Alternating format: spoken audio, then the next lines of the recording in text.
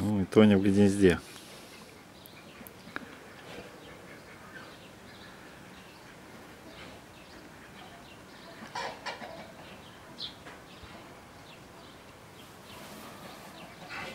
Так удобнее.